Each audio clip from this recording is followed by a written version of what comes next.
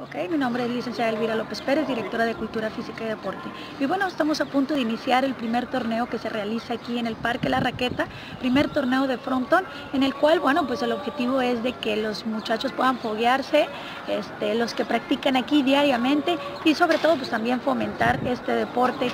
Y bueno, agradeciendo al presidente municipal eh, que realice este tipo de obras y bueno, ahora nuestro trabajo es difundir el deporte, practicar y sobre todo por pues, realizar estos torneos. Este será el primer torneo de varios que vamos a tener durante este año. Este va a ser local, después estaremos teniendo este, torneos a lo mejor cada 15 días, este, cada mes, pero próximamente, a lo mejor en unos cuatro meses vamos a tener un torneo regional, estamos planeando en el cual este, bueno, pues vengan ya deportistas de otro nivel, que se les dé un, este, vamos a proporcionar una bolsa económica, algunos premios para que se animen a venir, que esté avalado por la, por la Asociación de Frontón del Estado. Bueno, queremos hacer un muy buen este, torneo y todo pues para que conozcan estas nuevas instalaciones que este gobierno municipal está haciendo en esta administración 2013-2016.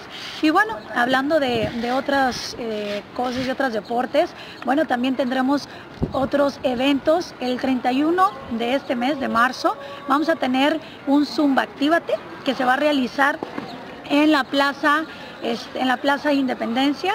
Y bueno, pues invitamos a todos aquellos que les gusta practicar, que les gusta bailar. Este día 31 de marzo los estaremos esperando. Las inscripciones ya las pueden realizar una vez que se eh, publique la convocatoria, que será esta próxima semana, en la Dirección de Cultura Física y Deporte. Ahí podrán inscribirse. Y también les informo que el día 18 de abril tendremos el reto Profit primero, que se realiza aquí en Nuevo Laredo. Este se va a llevar a cabo el 18 de abril de este año en el estadio de la Unidad Deportivo Benito Juárez. Habrá diferentes categorías para que estén al pendiente.